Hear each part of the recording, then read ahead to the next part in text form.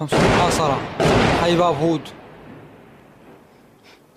ستة وعشرين ثمانية ألفين وثلاثة اشتباكات بين كتائب الفاروق وعصابات الأسد.